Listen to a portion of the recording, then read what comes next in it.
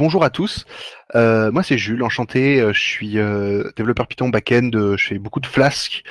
c'est ma grande passion et je suis ravi d'être là avec vous. On est 56 actuellement. On était 59 tout à l'heure. C'est génial. du coup, je vais vous partager mon écran et moi, je vais parler de PyCharm. qui c'est qui utilise PyCharm ici dans l'assemblée sur un coup de euh, un coup de euh, moi au chat. et on va parler de debugging PyCharm. Ah génial, il y a plein de monde. Du coup, ça va vous être utile. donc voilà. Donc on va parler de debugging PyCharm. Je ne sais pas si vous avez déjà utilisé trop cher pour du perso. Il y a la version il y a la version éducationnelle qui existe et après vous pouvez demander à vos employeurs de vous acheter la version. Et du coup, on va parler de euh, debugging PyCharm. Euh, du coup, je ne sais pas si vous avez déjà utilisé le debugger euh, intégré, mais c'est plutôt pratique. Pas de garde-chapelle en effet, Emacs, Vim, PyCharm, VS Code, vous pouvez utiliser ce que vous voulez. Donc là, normalement, vous devriez voir mon écran.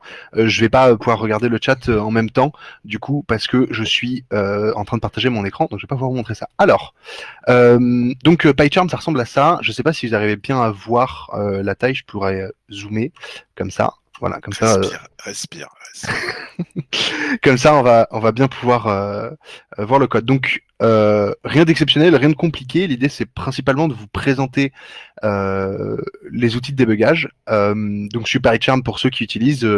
donc, on a la fenêtre de code principale et en haut à droite, on a plein d'outils super géniaux qui sont des configurations de run. et on peut lancer notre code simplement ou en mode debug. Euh, donc nous, moi, ce que je vais vous présenter du coup, c'est euh, euh, la, fonction debug qui est ici. comment ça fonctionne? Donc là, bon, j'ai mon petit code simple, rien d'exceptionnel. Je fais des additions, des divisions. Les plus les plus avertis d'entre vous pourront voir qu'il y a déjà un problème directement. Mais du coup, si je lance mon code, donc pour pour le lancer, soit on peut le lancer tout simplement dans le terminal, donc en faisant Python, là en, en l'occurrence main.py. Ou alors, euh, on peut le lancer avec euh, euh, le, les configurations de PyCharm directement. ici, en faisant, donc on a des templates par défaut et en faisant un petit plus, on a plein, plein, plein d'options et on a une option Python. ici, en l'occurrence, on va choisir donc notre script main on peut lui passer des paramètres, euh, des variables d'environnement, etc., euh, le working directory. On n'a pas besoin d'y toucher ici. Et euh, en faisant ça, je vais pouvoir le lancer en appuyant ici ou en faisant en effet, comme c'est écrit, Shift F10. Et on a une erreur aussi. Du coup, qu'est-ce qu'on fait de ça? Bon, si on ne sait pas d'où elle vient, que le code est très imbriqué, etc., on peut regarder facilement en lançant notre programme comme ça, en cliquant sur le bouton debug et euh, ça va euh, démarrer euh, PyCharm en mode debug et notre programme en mode debug. Là, ce qui s'est passé, c'est que, alors je vais dézoomer un tout petit peu. Ce qui s'est passé, c'est que automatiquement, euh, j'ai pas mis de breakpoint nulle part dans mon code. Il s'est arrêté tout seul au moment de l'exception. ici, en haut du truc, on a écrit exception, voilà, zéro division error. Donc, en l'occurrence, je fais une division par zéro parce que dans ma fonction another function, je fais un 1 divisé par 0, donc forcément, ça ne marche pas. Euh, et euh, si j'essaye d'avancer, du coup, le programme va cracher et s'arrêter, et on aura dans notre console, du coup, notre euh, erreur de division par zéro. donc ça, c'est une des choses qu'on peut faire. du coup, on va pouvoir le résoudre. On va dire, on va diviser 1 par 2, par exemple. Et là, si je le relance classique, bon, j'ai aucune sortie, mais si je veux print une de mes valeurs de retour, ça fonctionne. Qu'est-ce qu'on peut faire du coup avec ce debugger eh ben, Du coup, on peut mettre des breakpoints. Pour mettre un breakpoint euh, dans PyCharm, si j'ai PyCharm qui arrête de crash, euh, il suffit tout simplement de euh, clic gauche sur entre les chiffres et le début de votre zone de texte ici. Donc par exemple, je vais mettre un breakpoint au tout début ici. Il y a un petit point rouge qui apparaît et la ligne elle est surlignée en rouge pour bien qu'on voit facilement que c'est un breakpoint. Et si du coup je lance PyCharm en mode debug, dès qu'il va arriver à cette ligne là, le programme va s'arrêter PyCharm va me donner la main. Et en l'occurrence, euh, dès que je démarre le programme, ici, on voit euh, plein de choses qui s'affichent à l'écran. Alors, premier truc, tout ce qui est en haut, euh, c'est plein d'informations, bah, du coup, typiquement les built-ins, donc tout ce qui a été importé, les fonctions avec leur place dans la mémoire. la ligne verte ici, c'est la ligne sur laquelle on est actuellement arrêté et qui va donc être exécutée. Et ensuite, en dessous, hop, on a euh, un debugger avec plein d'informations, plein de boutons, etc. que je vais expliquer.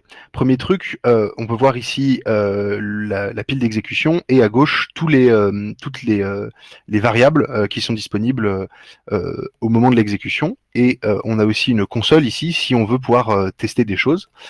et on peut regarder du coup toutes nos, toutes nos valeurs si on souhaite, je sais pas ce que j'ai ouvert.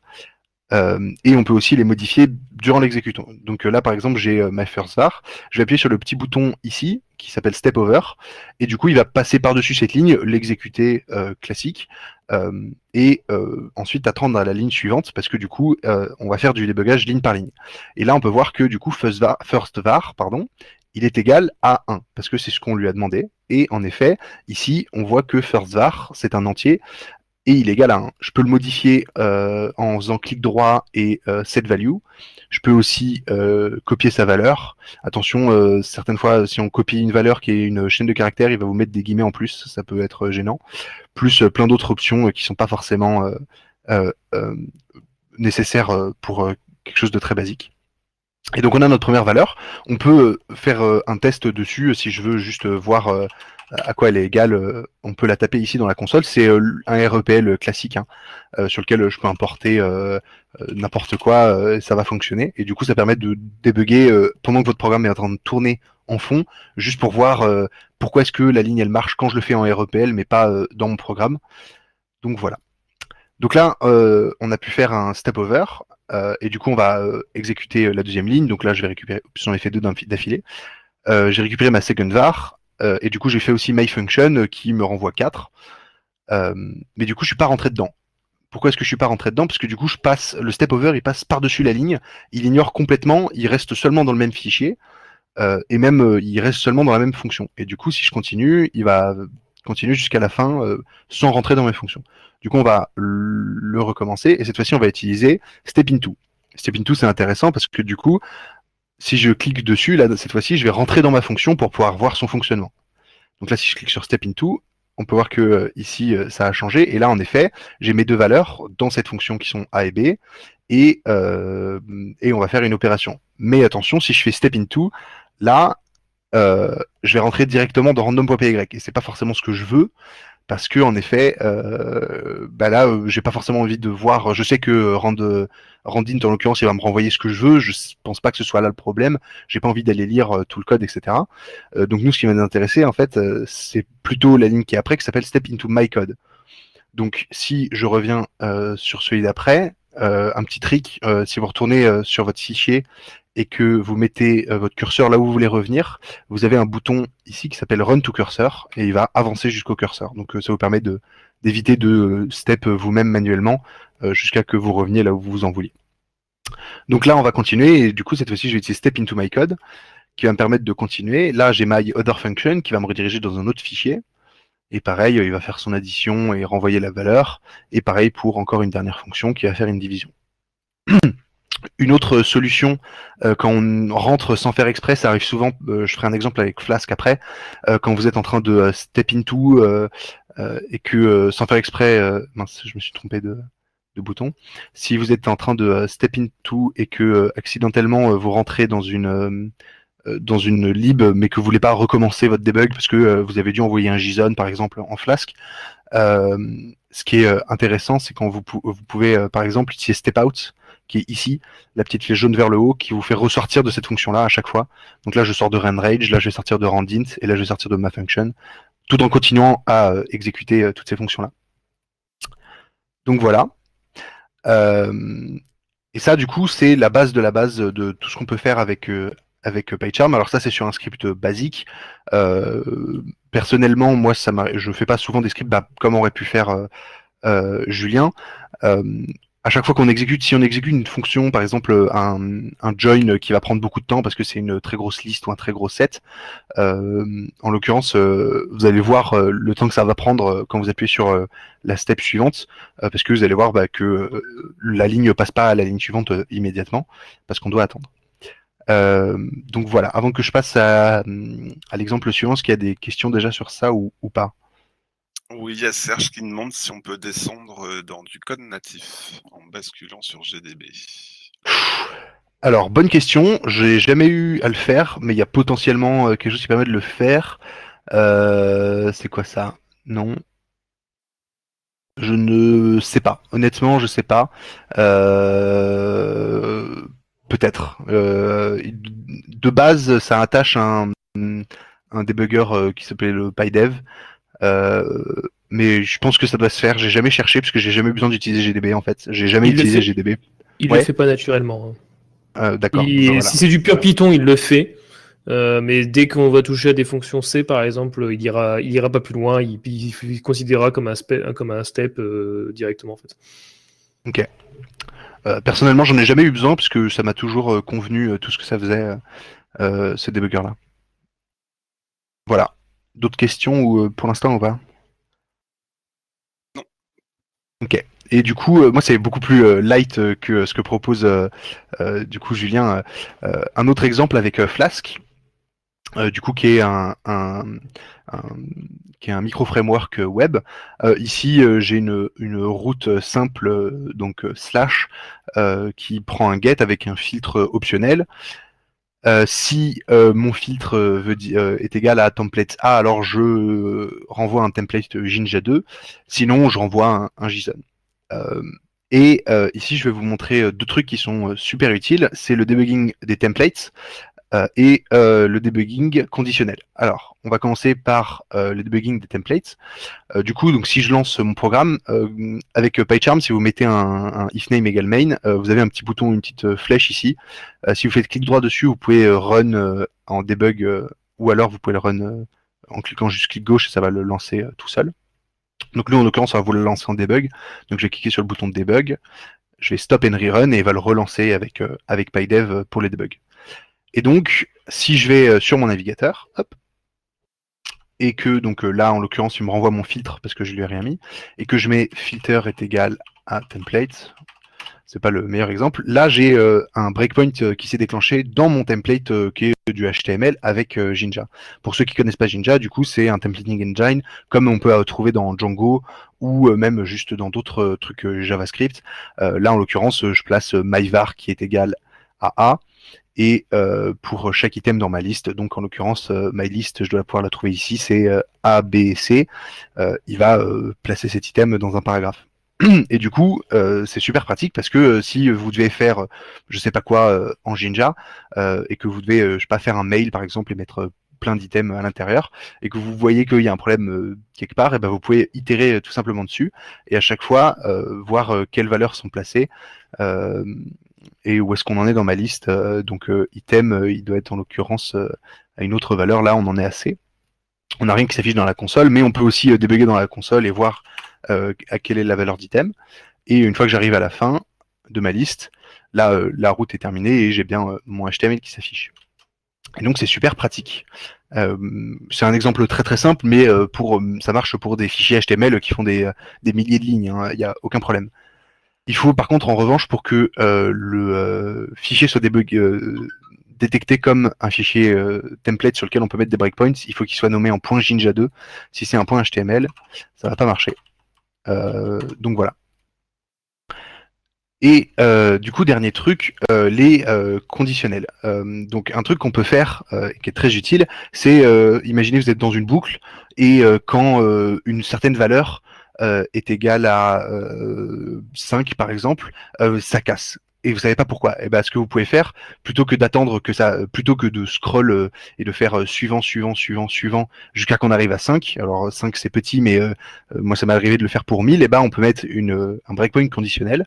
Donc en l'occurrence, je vais arrêter ici sur le return, mais seulement si, donc en faisant un clic droit, alors là, je peux restore parce que je viens de le supprimer, mais je vais suspend euh, le thread si le euh, euh, myFilter va être égal à, par exemple, test underscore A.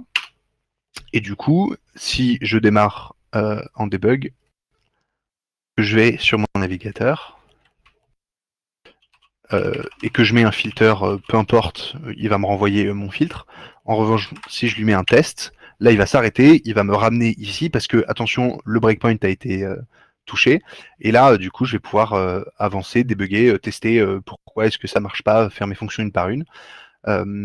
et du coup à la fin renvoyer. Voilà. Là typiquement c'est là où c'est dans ce genre de cas quand on fait step over, une fois qu'on arrive à un return dans Flask qui te ramène dans dans ces fonctions là, donc le dispatch le dispatch request et du coup c'est très très long donc on peut faire un autre bouton qui est utile resume programme. Donc là il va arrêter de débugger, de faire du ligne par ligne jusqu'à qu'il y ait le breakpoint qui soit atteint une, seconde fois.